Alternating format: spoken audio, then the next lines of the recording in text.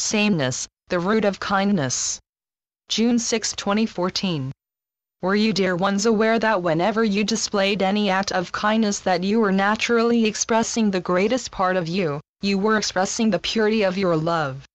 When you are being genuinely kind towards another person, you are demonstrating during that precise moment that there are absolutely no distinctions existing between you and the other person, Remember practicing kindness leads you towards more loving experiences, it helps unite people, and helps to bring an end to the concept that you are separate, when in fact every person, every creature, every living thing is interwoven. It is nice to be around someone who is habitually kind. You appreciate their presence. You can trust them, respect and value them, and seemingly find yourself drifting around them, your innate need to gravitate towards someone who is known for their kindness is due to the fact that you can sense their pureness. You know of their selfless nature and other fine and kind qualities can cause you to think of your own qualities and ways. Sometimes being with someone who is of a pure and kind nature, just looking into their eyes or observing their mannerisms, could easily have you wishing your own ways were like theirs. You may even question yourself if it is even possible to develop purer and kinder ways. Try to remember where kind acts come from. They emanate from having a wholesome and pure attitude. When you learn to just be, the wall that separated you from everyone else becomes thin, and before you know it there is no need for walls. The more you are without the walls, the more you are yourself.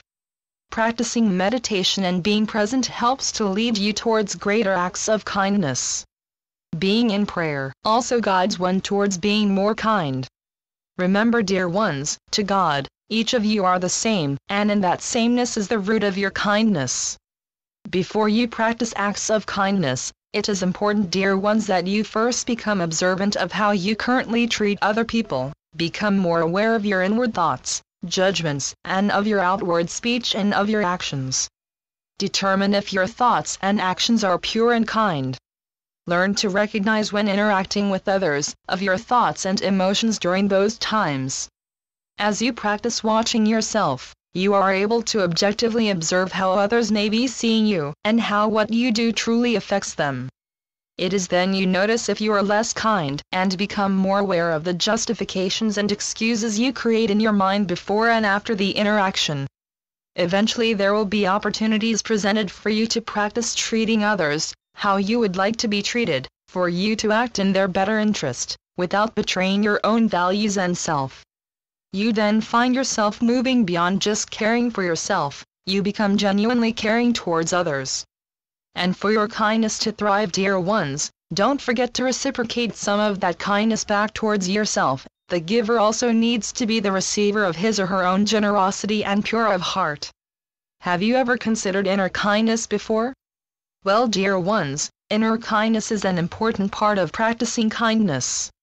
How you treat others inwardly through your thoughts and emotions holds important revelations and provides great learning material. It is up to you dear ones to recognize how inwardly unkind you think of others. When you know you have unkind thoughts towards others, perhaps you judge them, criticize them, and make fun of them. Regardless, the energy you give off is not a kind and loving energy. Take some time to look deep within yourself, into the source of that unkind thought. And from your self-observations you will come to know the true reason why you think unkindly towards a particular person.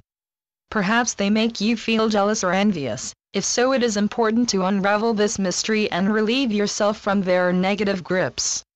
Maybe the other person is someone that shares different opinions than you, which is more than possible. If that is the case try to find some common ground and work from there. Display gratitude for what they have shared even if you don't agree or fully understand. Ask for further clarification if it would help you understand their concept of their way of being. There are so many dear souls competing against each other, striving to be better in things that don't require competition, such as spiritual development and growth. You can let go of your emotional attachment to opinions and not demand that others follow your example. You can become aware and admit that jealousy and envy doesn't provide a clear path for more love to enter, it contaminates your heart and prevents you from shining from your true and authentic self.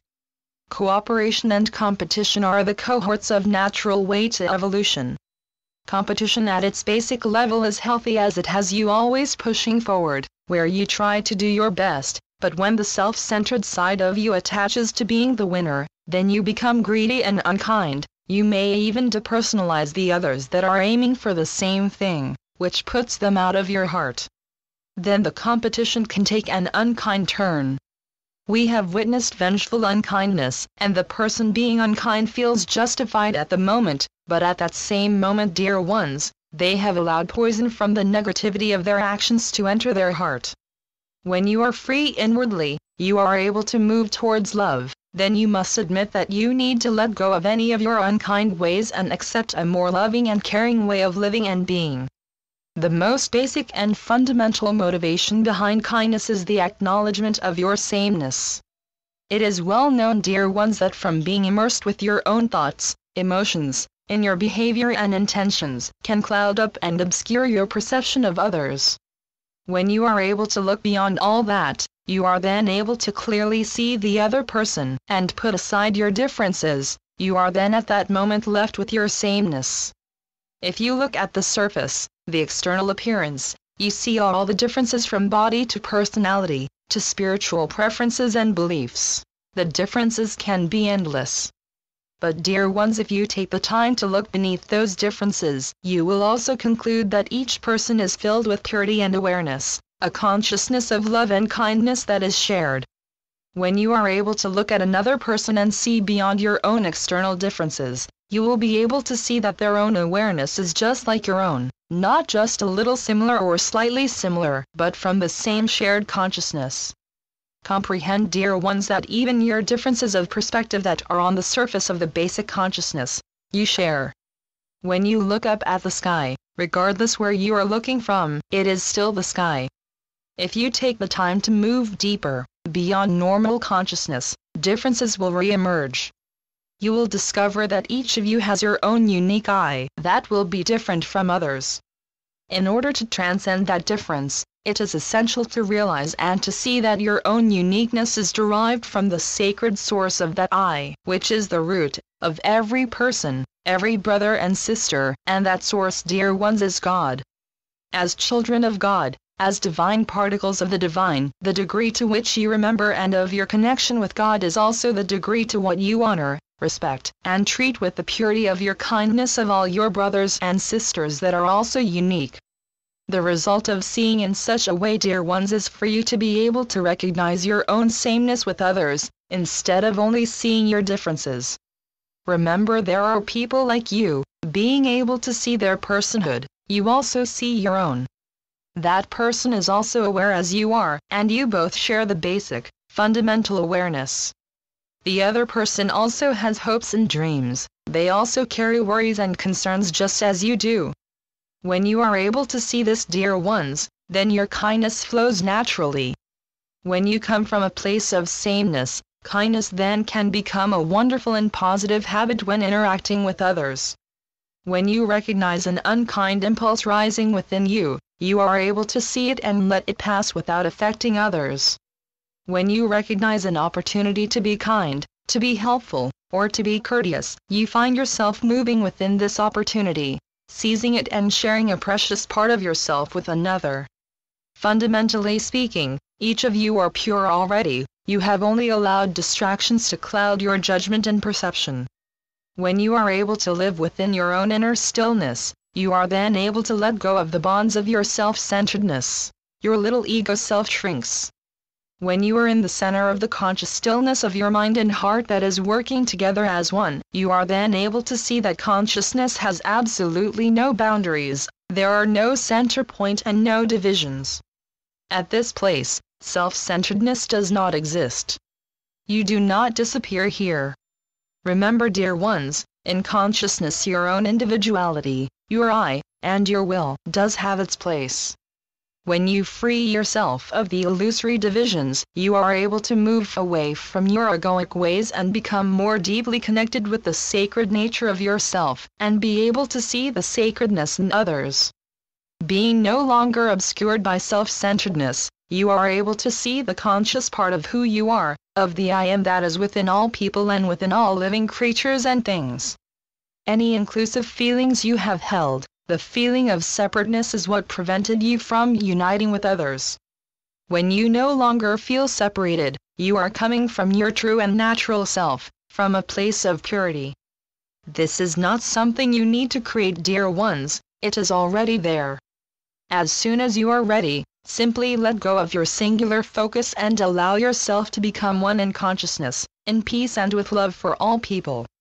Remember you are not outsiders of that place of purity. It is a sacred part of you, a part of you that has been covered up, yet it is also the deepest and truest form of yourself. It is where yourself feels at home. You never need to go outside of your I or beyond it. Instead all you need to do is return to the root of your I, to the source that is shared within all people, with all life, to God. When pursuing the return to the root source, know that it is a worthy journey, it is one that will bring out the best in you and will require your full engagement. As you enter the threshold of your own purity, you will conclude that humbleness and compassion will begin to flow naturally, without any effort. Remember, dear ones, that wisdom flows from purity. When you have no distractions from your little, ego self, you live united with others and with all life. Your own choices and actions hold true to the authentic needs and of the highest potentials of that very moment. Kindness is in you to give, so give dear ones from the purity of your heart. And so it is. I am Ascended Master, Serapis Bey through Julie Miller. SpiritualNetworks.com